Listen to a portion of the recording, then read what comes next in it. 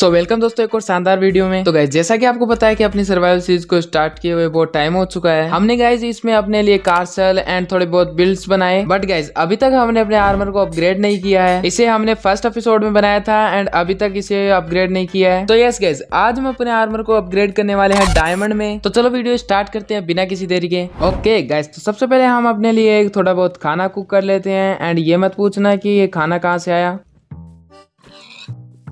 Right guys तो अब मैं रेडी हूँ जॉम्बी से फाइट करने के लिए एंड केव्स में डायमंड ढूँढने जाने के लिए। मैंने ज़रूरत का सारा सामान ले लिया है। तो अब चलते हैं कारसल से थोड़ा दूर माइनिंग करने। कारसल से दूर इसलिए क्योंकि हमारे कारसल के आसपास कोई एक भी केव नहीं है। ओके गाइज़ तो मैं आ चुका हूँ अपने कारसल के सामने वाले आइलैंड पर एंड यहाँ पर बढ़िया सी केव ढूंढते हैं ताकि हमें उसमें डायमंड मिल पाए। तो गाइज़ यहाँ पर केव्स तो है एंड ये केव ये रही, इसमें देखते हैं यहाँ पर, लेकिन ये भी छोटी सी है, यहाँ पर छोटी छोटी केव है, जो की शुरू होने से पहले ही खत्म हो जाती है। हैं। तो गाइज़ इन केव्स को छोड़कर अब नीचे डिग करना स्टार्ट करते हैं। Six and hours later okay guys तो यहाँ पर नीचे पानी दिख रहा है मतलब यहाँ पर एक केव है तो यहाँ पर कूदते हैं जल्दी से।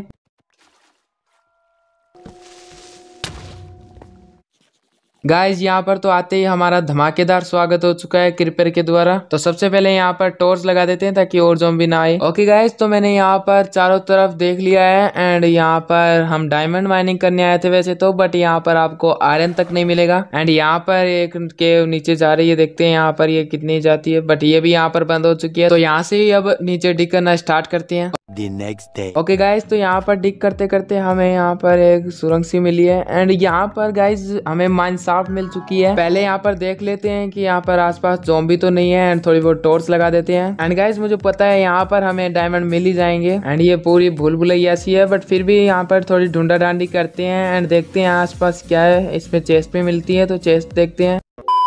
ओके गाइज़ तो मैं यहाँ पर थोड़ा बहुत घूम घाम के एंड थोड़ी बहुत चक्री खा कर मुझे फाइनली एक चेस्ट दिखी है। तो अब इसमें देखते हैं क्या है। ओह ये तो गलती से टूट गई। बट कोई नहीं, हम अपनी इन्वेंट्री में देख लेते हैं इसमें क्या था। तो इसमें ऐसा कुछ खास तो नहीं था बट हाँ ये थोड़ी बहुत लेपिस लजुली एंड ये पता नहीं, ये थोड़ा बहुत कचरा था। तो अब यहाँ पर थोड़ी और ढूंढा डांडी करते हैं एंड देखते हैं यहाँ पर कितनी चेस्ट है। A few moments later.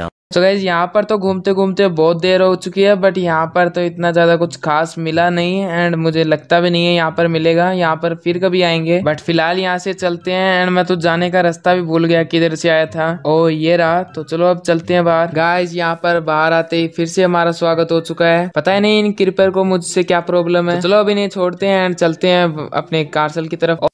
Right guys हम वापस आ चुके हैं अपने कासल में एंड यहाँ पर इस चेस्ट में रखवा देते हैं जो भी हमें उस चेस्ट से मिला, ये वही चेस्ट है। ओके गाइज़ तो हमारा ये माइनिंग का प्लान दूसरे आइलैंड पे जाने वाला तो ये तो फेल हो चुका है।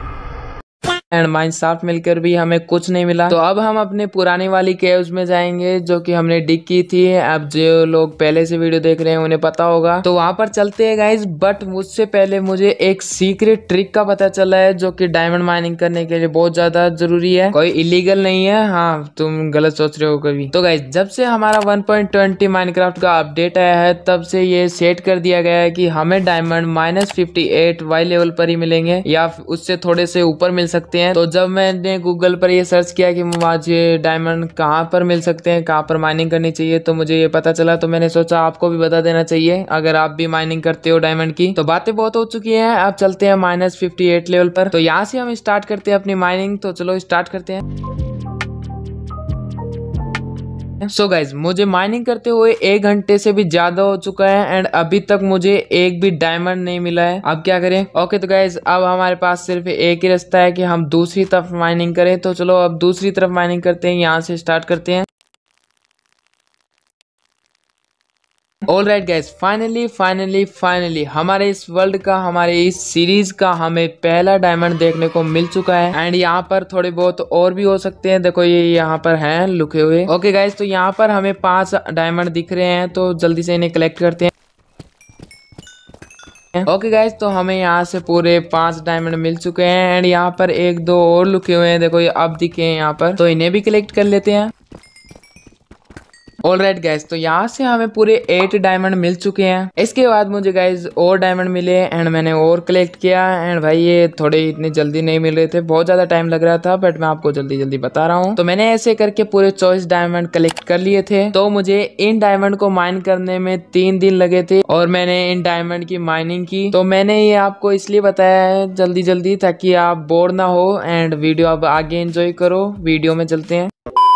ऑल राइट गैस तो अब तक मेरे पास अपने डायमंड आर्मर के लिए इनफ डायमंड हो चुके हैं। लेकिन मैं भी सोच रहा हूँ कि थोड़े बहुत और डायमंड माइन कर लें ताकि बाद में हमें ना आना पड़े, वैसे भी पिकेक्स बनानी है एंड फिर एनचैंटिंग टेबल भी बनानी है। तो उसके लिए थोड़ा डायमंड और माइनिंग कर ले। ओके गैस तो मैंने इस जर्नी में डायमंड माइनिंग में लगभग दस पिकेक्स अपनी आयरन की फूक दी है। मतलब की तोड़ दी है माइनिंग कर करके। दस से भी ज़्यादा मुझे अभी याद नहीं है एग्जैक्ट एंड यहाँ पर अब एक एक और पिकेक्स तोड़ दी है तो अब मुझे और माइनिंग नहीं करना भाई, जितना है बहुत है। अपना डायमंड आर्मर कंप्लीट करते हैं, फिर माइनिंग कर लेंगे। ओके गाइज़ तो मैं यहाँ पर वापस आ ही रहा था, लेकिन गैस वोट मुझे क्या मिला बीच में? गाइज़ यहाँ पर बीच में डायमंड पड़े हैं एंड मैं इन्हें बिना देखे आगे माइनिंग करता जा रहा हूँ। भाई, कितना बड़ा बेवकूफ़ हूँ मैं। पहले इन्हें कलेक्ट करते हैं, अब एक और पिकेक्स बनानी पड़ेगी लास्ट आज की। तो जल्दी से इन्हें और कलेक्ट कर लेते हैं, अपनी डायमंड की पिकेक्स का तो जुगाड़ हो गया। ओके गाइस तो बाकी के डायमंड मेरे पड़े हैं इस चेस्ट में, देखो ये रहे एंड अब इन्हें कलेक्ट करके ऊपर चलते हैं, या मतलब कि अपने कार्सल के पास कार्सल में एंड वहाँ पर अपना डायमंड आर्मर एंड ये सब बनाते हैं।